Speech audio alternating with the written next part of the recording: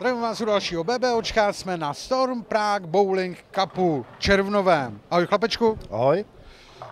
No, co říci tady k tomu, tady k tomu.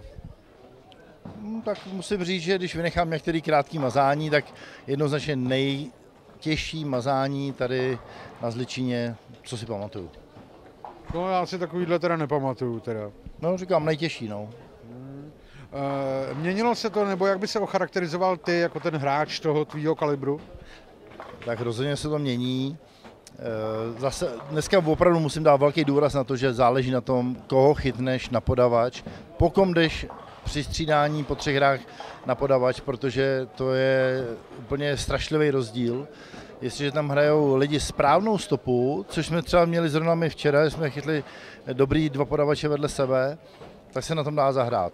Jo, my, my si na tom dohrajeme sotva 200 průměr, ty nejlepší, ale říkám, tohle to je těžký mazání, hlavně pro nás, ale jako kdyby to třeba měli hrát hráči PBA a oni by to hráli správně, tak ty nejlepší by na tom vyfekli 230 průměr. Jo. Fletu to ještě je daleko a dá se na tom hrát, ale v momentě, kdy chytneš na dráhu lidi, kteří na to nemají hru, nedej bože na tohle to bohužel musím říct, je špatný, když chytneš rovináře, tak to je pak peklo. No každopádně je to výzva pak, protože eh, toho parťáka, tak, tak ten je nalosovaný, takže pak teda jako ukaž, co umíš. No tak my jsme třeba ve čtvrtek mohli jít rovnou domů po těch třech hrách, no, to se nedalo. no, eh, co se týká teploty, tak docela jako... Tak venku je příjemně, tak možná, mohlo by tady být samozřejmě chladnější, ale jako jde to. Jde to. Jo, jo, já myslím, že bychom mohli konečně říct, jako že, že v pohodě. Uh, nějaký překvápko tady, protože tady si hodně lidí jako vylámalo zuby. Překvápko, no, to je prostě, tady budou samozřejmě dát velkou roli handicapy. Na tomhle tom budou padat nízký čísla, takže někdo, kdo bude mít handicap 15, 18, tak to bude hrát určitě svoji roli. Eh, shodneme se eh, spolu na tom, že byť je to mazání jakoby masakr, tak zaplať pámu za to, protože kdy jinde se, se zahrát na, na takovýhle věci. Jo, to hlav, jako zúraznuju, ať se to někomu nebude líbit, to mazání má hlavu a patu, pokud lidi nastoupí a hra, začnou hrát se správnýma kolema na správném místě a se správnýma posunama.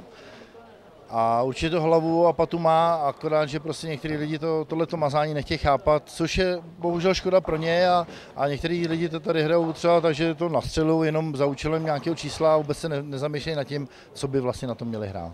Možná, jestli by nestálo za to, aby někdo dal třeba před začátkem toho turnaje nějaký školení, ale správně by se to teoreticky mělo hrát tak, tak a tak, protože x lidí na to nepřijde samozřejmě. No, ale to souvisí s, tě, s technickými možnostmi těma lidma, těch lidí, eh, co, jak dokážou hrát vůbec, jejich technika a záleží taky na jejich výbavě.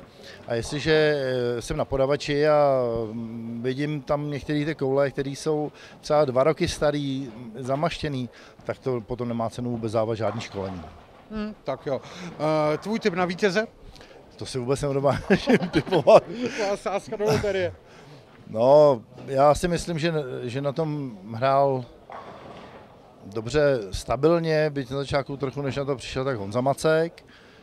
E, Michal Muží zahrál jednu hru dělo, jinak to taky nebylo úplně tak košer, spíš musíme vycházet z toho, kdo se prodloube do toho, do toho playoffka a v tom playoffku už ty dráhy budou se blížit k tomu konci té kvalifikace. A to, potom na těch drahách bude různý masakr. Já typu Honzu Macka. Já typu Jaru Větrovskýho dědu.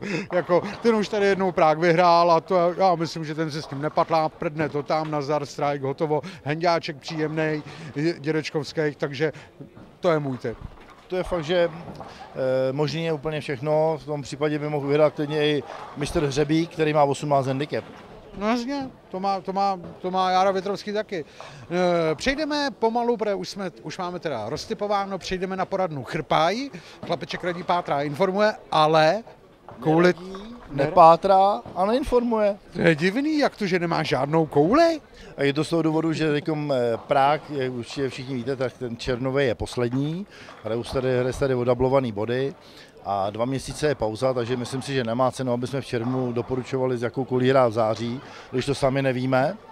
ale chtěl bych teda aspoň toho využít touhletou cestou a poděkovat firmě Storm za sponsoring, eh, který dala na tenhle ten turnaj a jelikož eh, tohle to budeme posílat i do států a do Holandska. A naše američtina není a holandština. No, my, my se učíme nula. holandsky, jo, ale jako zatím to ještě není tak dobrý, tak si někoho vezmeme tady na to. Tak si vezmeme někoho tady na překlad, Kečku Beštovou, a ta poděkuje za nás. Americky a holandsky, jo. Eh, Tak, tak prosím tě, prosím tě, Kačko, eh, nejdřív holandsky, prosím tě, eh, poděkuj. Tak, eh, no a co by teda, tak, tak ještě, ještě jednou That was thanks in uh, Dutch. dáčie, jo. Tak, eh, tak co by měla Kačka teda jako, máme někoho specifického? Eh, Chtěl bych poděkovat eh, do Holandska Ariano, Arianovi za vyřízení tohoto sponsoringu. Je to úžasný, ten turnaj to tady krásně zvedlo. Eh, Jsme na to pišní. Zároveň do státu Vesovy, Uh, we would like to uh, big thanks to uh, Ariane to Storm Europe because uh, he helps to sponsor this tournament and it was great. And also into United States uh, to Wes, uh, Wes Pie. Uh, many thanks. Eh, Těšíme se, že uvidíme v září, ve se teda možná ne, Ariana určitě. A zároveň velký dík eh, majiteli firmy Storm, Billu Chrismanovi, s dodatkem, že až se uvidíme, že mu vezmu nějaký CDčko s jeho milovanou hudbou, jako viděl na poslední návštěvě eh, Evropy v Boltechu. Uh, the personal thanks will be in Holland to Arjan, not to Wes. Uh, and uh, there is a special thing. Um, uh, Pavel uh, promised a present to owner of the storm, uh, Bill Chrisman, and uh, the present will be special music. Uh, he will know uh, what he's talking about. To je všechno. To je všechno, takže zdravíme do Holandska, do Ameriky, nazdar, see, see, see you later a, a ještě něco holandsky na závěr. Taky řekni holandsky. Tak, tak jo, tak jdeme no, Máme tady vítěze Tačka Kolář, šampionem červnového Storm PB Cupu. Na tom je to masakru teda klobouk dolů. No to jo, protože první, první rundu ráno jsem zahrál 167 průměr a chtěl jsem odjet a nakonec jsem si dal rentra, ten se poved a povedlo se i další kola. No. Jsem moc spokojený, šlo to výborně. No ale ono těch 167 na ten první pokus, tak to taky nebylo jako vůbec nejhorší. Jako. No to bylo, to bylo, to bylo hodně špatný. No, byli, byli tady daleko, daleko, tak, jako za tebou taky lidi. E, ty jsi byl ve finále Prágu, co já teda pamatuju, ty doby, co děláme BBOčko, tak jsi byl poprvé, je to tak? Ne, po druhý, po druhý. Jednou jsem hrál finále s Michalem Mužíkem.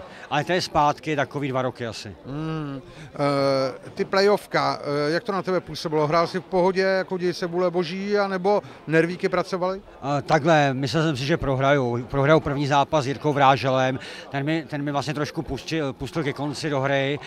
Uh, Honza Macek ten to neutáh a teďko jsem si myslel, že prohraju i s, Mí- i s Mílou, protože jsem hrál proti osmi handicapu, jenomže já jsem zapomněl, že mám trojku, takže vlastně proti pěti. No. To finále bylo úplný drámo až úplně do konce, eh, protože tam vlastně i po tom posledním hodu, tak, tak opravdu všichni si tady mysleli, že, že Míla tě udělala okuželku, eh, ale ty jsi to věděl už, už předtím, jako že to dopadne dobře pro tebe. Ne, nevěděl, já právě myslel, že hraju proti osmičce, úplně jsem zapomněl na tu trojku svoji. Takže jsem myslel, že jsem druhý a nevadilo by mi to, protože super turnaj to byl. Skvělý. Takže eh, Honza Kolář, eh, starší, tak to vidíte, že to není ten mladěch, ale eh, Honza Kolář je vítěz červnového Storm Prague Bowling Cupu. Gratulace. Díky moc. Gratulace. No a my se uvidíme někdy příště. Eh, Nezapomeňte, že eh, v Butovicích je nová herna a děláme tomu trošku jaký promo. Eh, Pre Jirka Hurka se svým týmem tam vyrobil z brusu novou šestidráhu nejmodernější a bude tam týden otevření dveří eh, od 10. června. Stovka za dráhu na hodinu. To je dobrý, ne? To je dobrý, to je solidní. To je solidní. Bude to trvat tři týden od pondělí do pondělí, takže možná se tam uvidíme i tady s šampionem a to je všechno a mějte se fajn a nazdar. Čau, čau, ahoj, ahoj.